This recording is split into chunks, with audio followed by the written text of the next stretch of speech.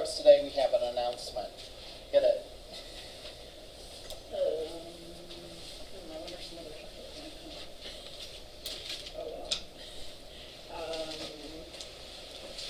So, uh, I think Mr. Zellers mentioned last week about the field of information architecture.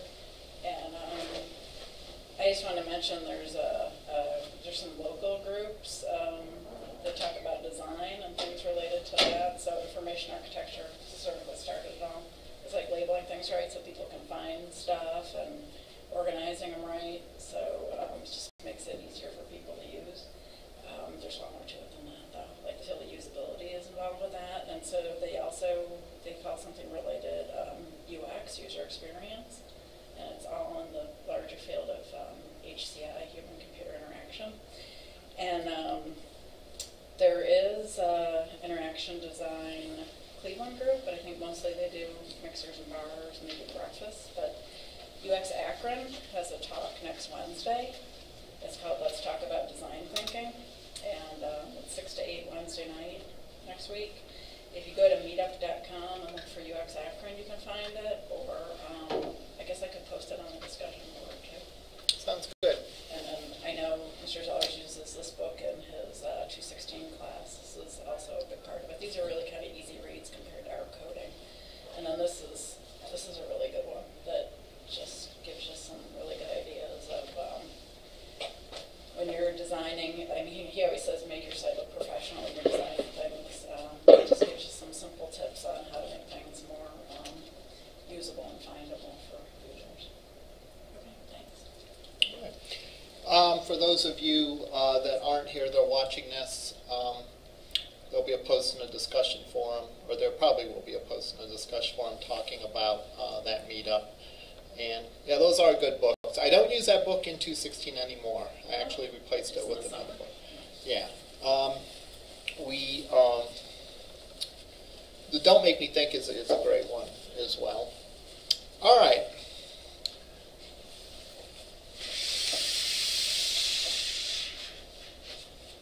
This is where the fun starts. If you've been waiting for the fun to start, today's the day. Right? and because now we're starting, well, maybe that's a bit of the exaggeration. We're almost ready to have fun. How about that? Um, because today we're going to start discussing uh, about databases. We had a, uh, the, the first portion of this class is to gain familiarity with the .NET framework, you know, to understand, you know, the purpose of, of using a framework, to understand some specifics about the .NET framework, to understand how the controls that you create from the framework and the code that you write uh, go hand in hand, and how you can put those together to accomplish some things. Now what we're going to do is we're going to shift our focus to databases. And we're first going to have a review of databases, just to make sure everyone's on the same page, depending on when and if you've taken CISS 216, uh, not 216, 143, the database class. This may be on the top of your mind or not on the top of your mind. So we're going to spend some time uh, reviewing database concepts first, and then we're going to uh, when the fun really starts, we will marry those things together. That is, we will bring the .NET stuff together with uh, databases to really create some good dynamic data-driven sites.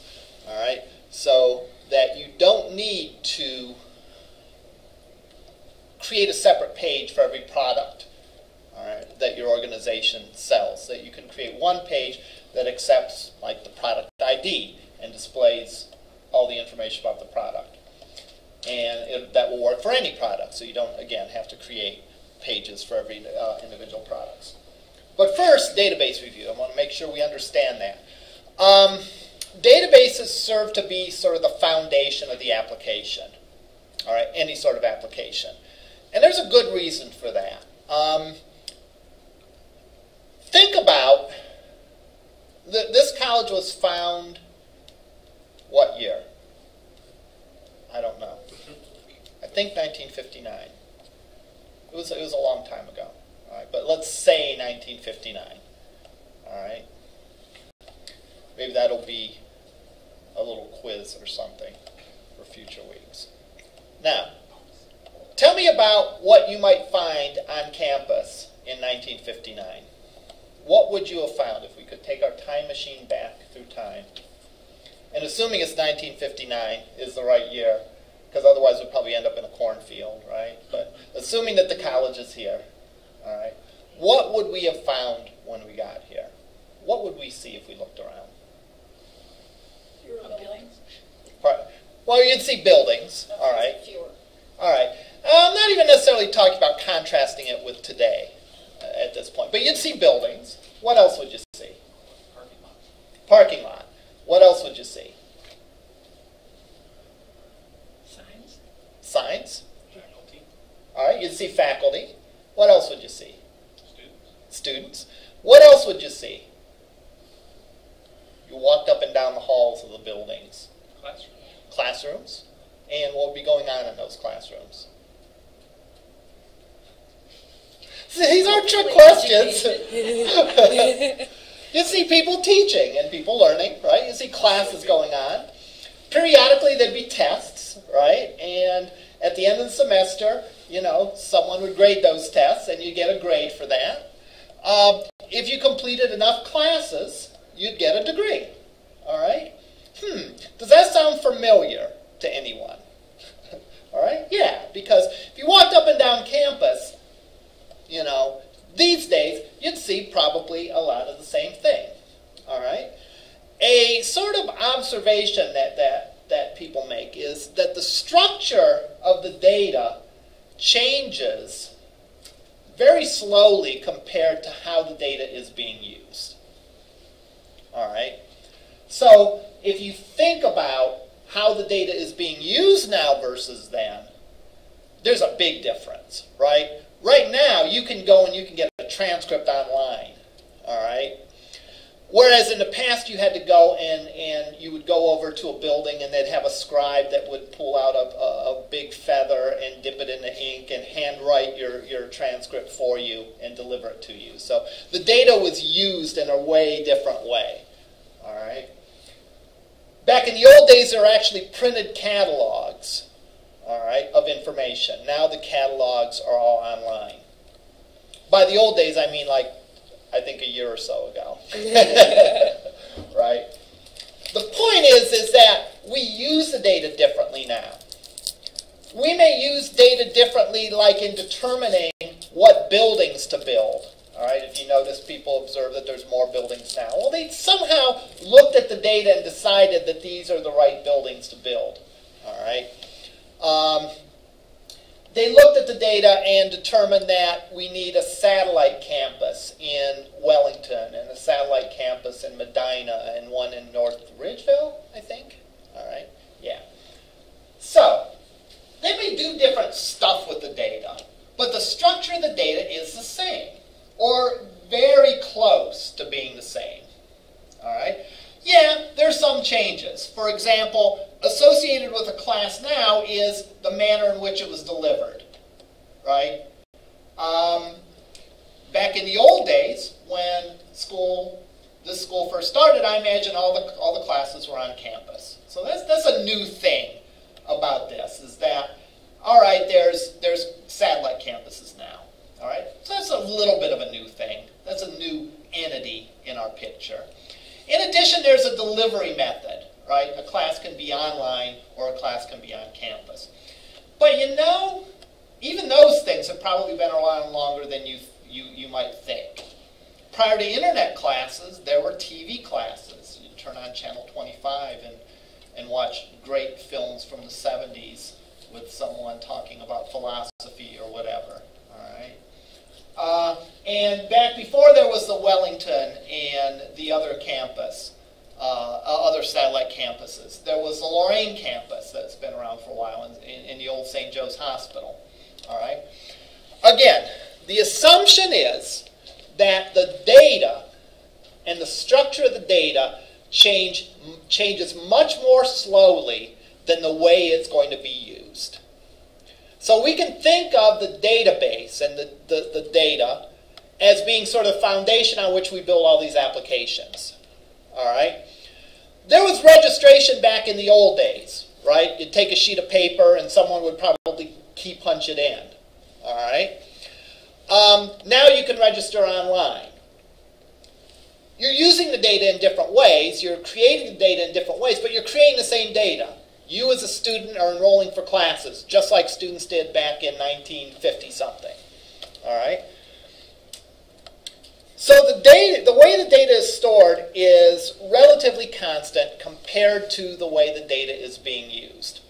What's the implication of that? Well, in building a house, all right, making sure the foundation is good is probably more important than making sure you have the right curtains on, right?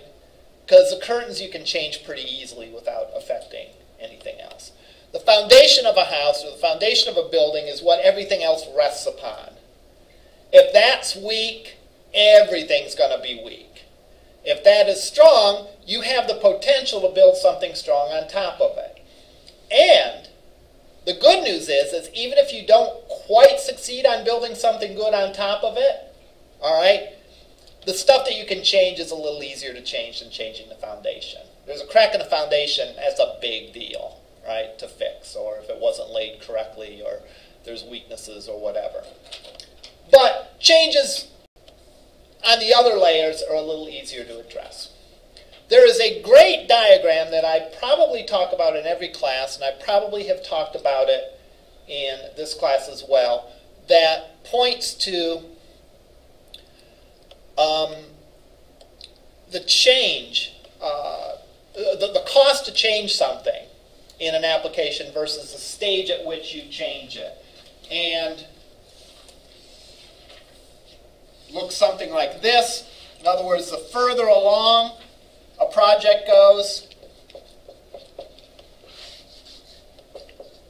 the costlier it gets to change something.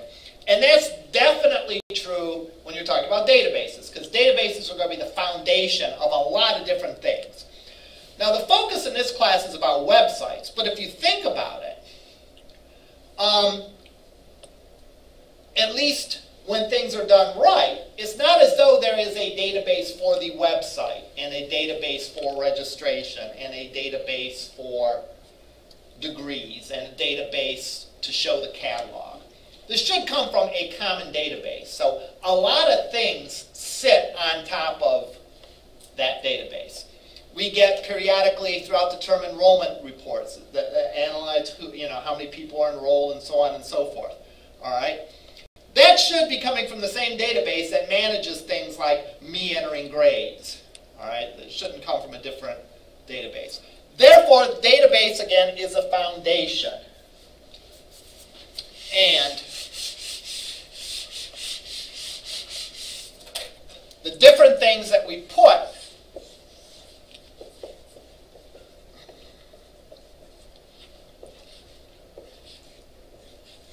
builds upon Our website, maybe some sort of internal application that they use over in enrollment services, for example. Maybe a mobile application that we develop. Any of these applications sit on top of the database. If there's a crack in it, then all these run the risk of tumbling down. If it's solid, then we have a fighting chance of developing something that's good. So, when you think about this picture, and you think about this picture, and you add those two pictures together, all right, the lesson that you should learn, what is the lesson that you should learn if you add those two pictures together?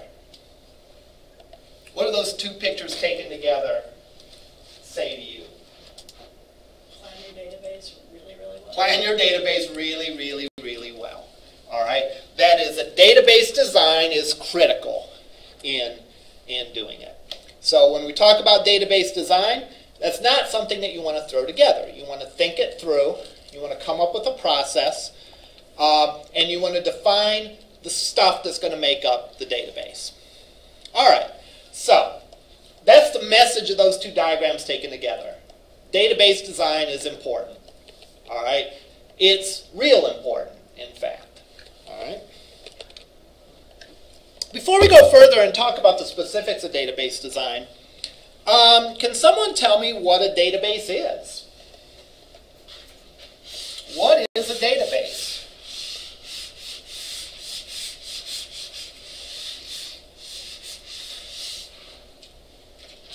Or maybe what a database isn't. Sometimes that is helpful in defining something. Tell me what it is not. Database is just raw information. Database, raw information. But it's in a structured form. All right. Structured format.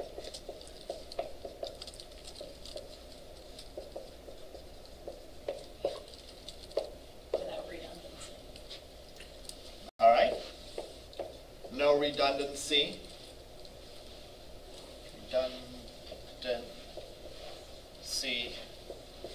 or unnecessary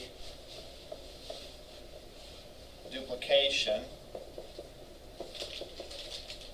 or having same piece of data multiple times.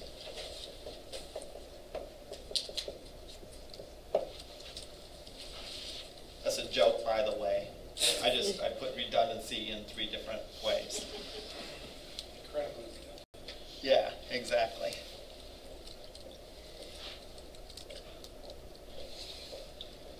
Anyone else care to add to this?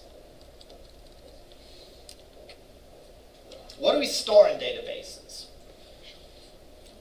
Well, we said data, all right. Uh, one thing I want to distinguish that, that kind of goes along with this first point, um, I'm going to change that word from raw information to raw facts. In the world of IT, we distinguish between data and information. All right? Data is raw facts.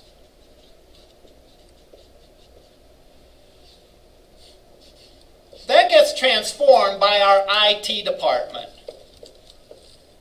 Pretty much everything in the IT department's job is to do this. All the hardware, software, blah, blah, blah, is meant to do this, to transform that data into information. Now, I had someone comment on one of my YouTube videos that it shouldn't stop there. And they're right, all right? It, it, it shouldn't stop there, but that's all in, us and all us in IT are interested in. All right. What happens after that? That's management or finance or something like that. But really, what happens after that is that information ought to be analyzed to produce wisdom or insight into a problem. Problem domain is a good word to use. You know, the problem domain is sort of the world that we're interested in studying and looking at and, and making decisions about. So our job is to get them there in IT, right? You know, management classes talk about taking that information and transforming it. What we mean by data being raw facts being transformed in into information, the example that I use all the time in my database class is if I made a comment that said that company ABC sold $10,000 worth of materials of goods last week, what does that mean? Is that good or bad? Who knows? All right. If it's a local bakery, if it's someone that works out of their house, all right, uh, catering, and they sold ten thousand dollars worth of their baked goods in a week, I'm guessing that's probably a pretty good week. It's a lot of cupcakes, right? Uh, if that is General Motors that sold ten thousand dollars worth of merchandise or goods last week, that's probably not that good of a week, right? Especially if they had to have a bake sale. right? Exactly. So, I guess what I'm saying is raw facts, that statement of $10,000 worth of goods um, being sold really doesn't tell us anything. We need a lot of other stuff. We need to combine it with other pieces of data. We need to combine it with context. All right? What might be some other piece of data we'd combine that with to give us some information? In other words, $10,000 sales in a week, good or bad? What other pieces of data might you want to know to come to that decision, to gain some insight? Cost of material. Yeah, how much how much do you pay for the stuff? You know, if you sold ten thousand dollars worth of goods, but it cost you twelve thousand dollars to make them, well, you probably didn't do so good. But if it only cost six thousand, then you probably did pretty good. What would other data that you might want to look at be? Previous earnings. Yeah, previous earnings. What do you average in a week? What does this company average in a week? If they averaged um, forty thousand a week and they had a week of ten thousand dollars, they had a bad week. If they averaged five thousand dollars and they had a ten thousand dollar week, they had a great week. So that's other data, both historical data and current data. Historical data meaning past amounts, um, current data being the current cost of these things. What might be something else we might want to know to make some sense of this? Time spent making cupcakes, Okay. like the hourly wages. Yeah, you know, how much was other expenses besides the cost of the goods? Right. You know, if we had to bring in some fancy chef that got, you know, thousand dollars an hour to bake for us, then yeah, well, you know, we better sell ten thousand dollars worth of stuff, right? What kind of things might context be? That one's maybe a little trickier.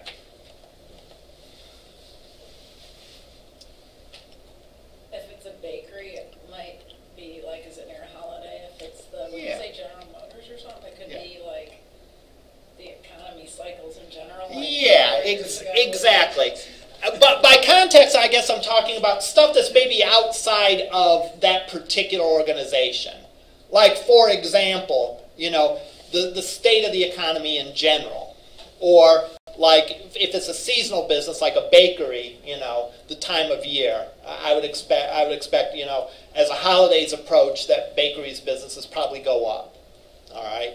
Um, and that would be a piece of context that would be important and relate to things sort of outside of the organization. So we take these things, we take all these raw facts, we take other raw facts, we take things outside of the organization and put them together in some way to have some information. Now, one of the the, the oldest sayings in information technology is the old garbage in, garbage out. That's the first of one trillion acronyms created in the world of IT. All right, this is number one. All right. What that means is if this is bad, then this is going to be bad. All right? The old silk's purse, sow's ear, can't take bad input and come out with good output. With our cupcake analogy, if you use rotten eggs, cupcake isn't going to be good. All right? The data about those cupcakes is rotten. the information that you glean about those cupcakes is going to be rotten as well. All right? Now, that's one observation. Accuracy is the key. Is key.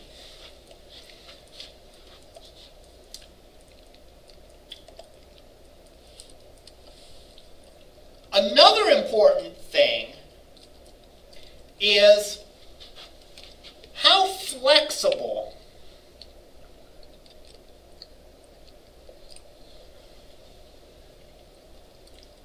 can we take this information and combine it? In other words, present that information one way. Or can we present the information in a variety of ways? All right.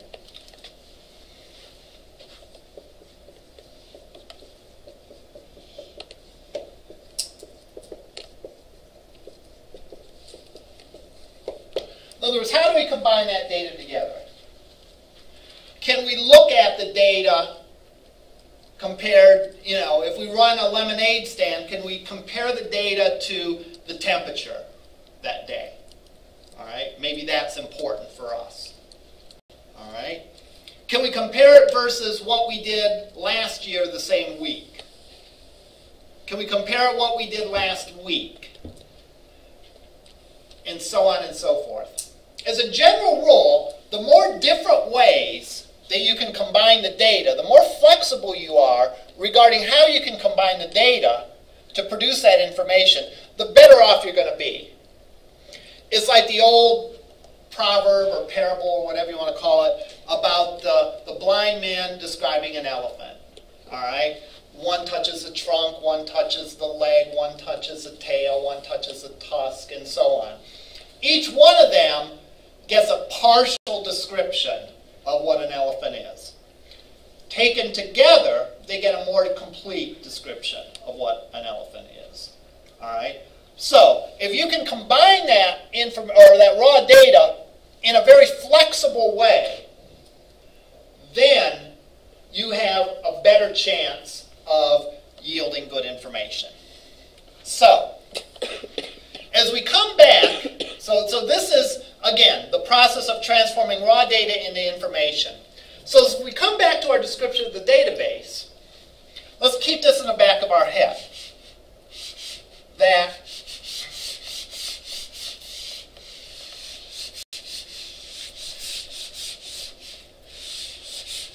anything that we do to support these things is going to be good.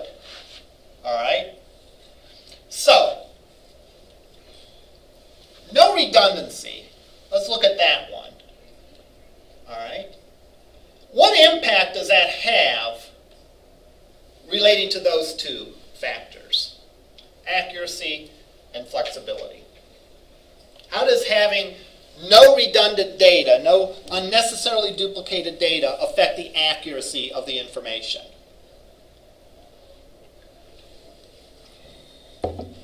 Or does it? Yeah, go ahead. Uh, if you have to change something, um, like someone's name changes maybe, Mhm. or address, you only do it in one place and then it updates everywhere. Okay, it's easier to change, right? If the same, i- if a, if a piece of data, if a given piece of data is only stored in one place, then you only need to change it in one place. So it can only be right or wrong in one place. If it's stored in five different places, it can be right or wrong in five different places. In fact, it can be right in one of them and wrong four different ways in the other one. All right?